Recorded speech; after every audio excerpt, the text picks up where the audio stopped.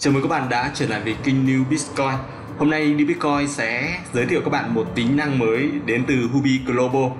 Vào ngày 15 tháng 5 năm 2020, Hubi Global chính thức ra mắt nền tảng C2C Lending.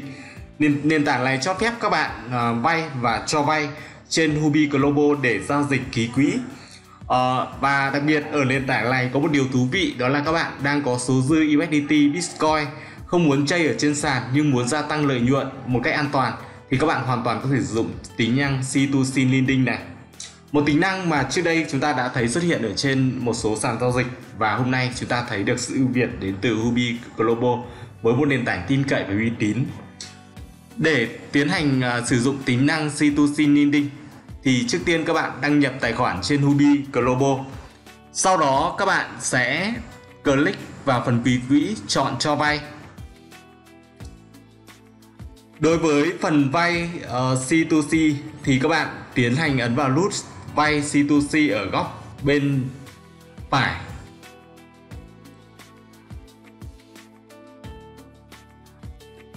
Sau đó các bạn sẽ ấn vào mục chuyển khoản để các bạn chuyển tiền bảo chứng vào Hubi Global. Lưu ý các bạn sẽ cần phải có số dư ở trên đây.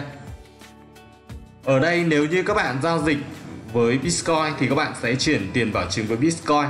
Nếu các bạn giao dịch với USDT thì các bạn sẽ chuyển ờ, uh, USDT vào trong uh, tiền bảo chứng.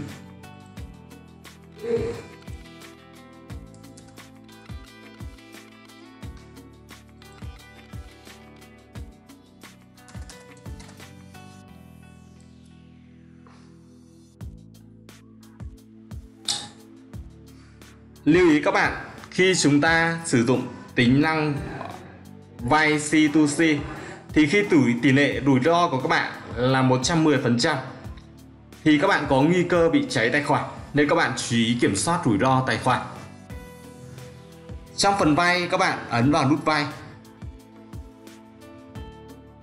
Các bạn sẽ thấy được cái lãi suất ở đây, và các bạn có thể vay theo những cái lãi suất ở trên đây và chắc chắn là chúng ta sẽ vay với những lãi suất ngày rẻ nhất cho đến những lãi suất đắt nhất. Và các bạn tốt nhất là nên vay với những lãi suất ngày rẻ nhất nhé các bạn cần phải tỉnh táo chứ không phải lãi suất nào các bạn cũng nên vay. Trước tiên chúng ta sẽ tìm cái lãi suất rẻ nhất để các bạn vay. Đây là một cái mẹo để các bạn tiết kiệm được cái phí. Bên đây là cái, cái cặp USDT và bên này là cặp vay BTC được chưa chúng ta sẽ ấn vào nút vay. Và ở đây thì các bạn sẽ thấy được cái chu kỳ vay ờ, các bạn có thể vay như các bạn thể thấy là các bạn có thể vay được 80 USDT và admin sẽ lựa chọn mẫu cho các bạn với việc vay 10 USDT chu kỳ vay của cái khoản vay này là 30 ngày. Lãi suất ngày là 0,02% chúng ta ấn vào vay USDT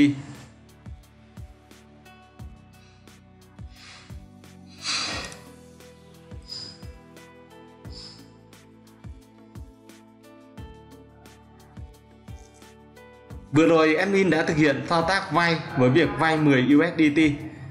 Sau khi vay thì các bạn nhớ đi nốt này trang để check lại nếu như tỷ lệ rủi ro đạt nhỏ hơn 110% thì các bạn sẽ bị cháy tài khoản. Để tiến hành giao dịch, các bạn ấn vào phần ký quỹ như thông thường. Tiếp đó các bạn chọn vào C2C.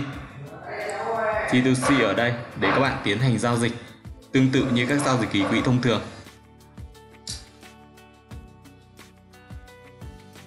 Khi đó các bạn sẽ thấy được số dư ở đây và các bạn có thể tiến hành mua bán Bitcoin như thông thường.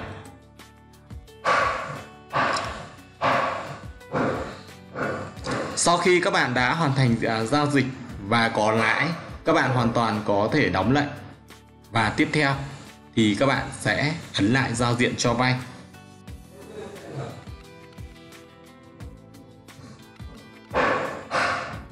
chọn tiếp vay C2C và chúng ta sẽ tiến hành trả lại.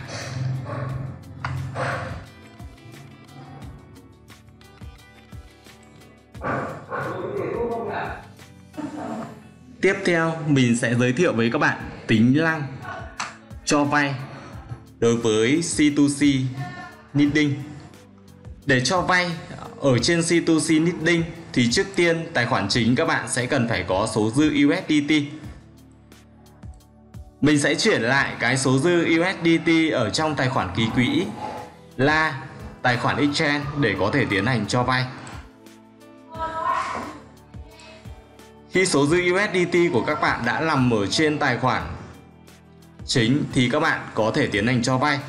Thao tác, các bạn sẽ ấn lên góc phía trên. Chúng ta chọn cho vay. Hoặc từ giao diện vay C2C, các bạn có thể ấn vào nút cho vay.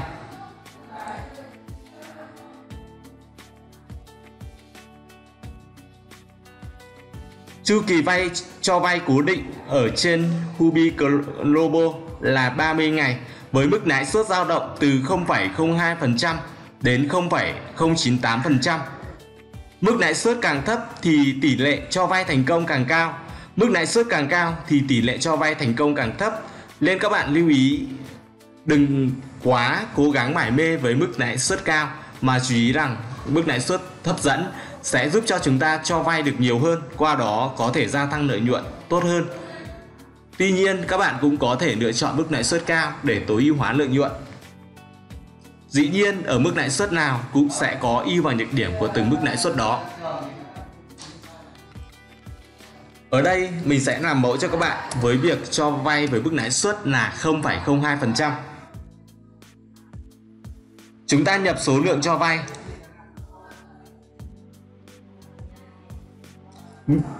min để min số lượng cho vay là 10 USDT.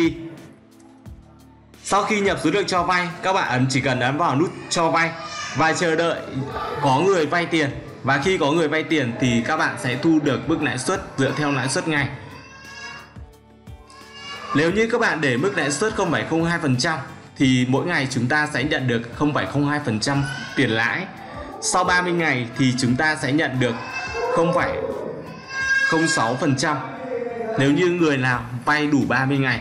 Còn nếu như người ta thanh toán luôn thì cái mức uh, nhận được sẽ dựa theo cái mức lãi suất ngày nhân với số ngày vay. Ok, như vậy là mình đã hoàn thành xong nội dung video hướng dẫn các bạn về tính năng mới của sàn Hubi Global, tính năng C2C Lending, một tính năng rất là hấp dẫn giúp cho các bạn có thể gia tăng lợi nhuận với số dư rảnh rỗi.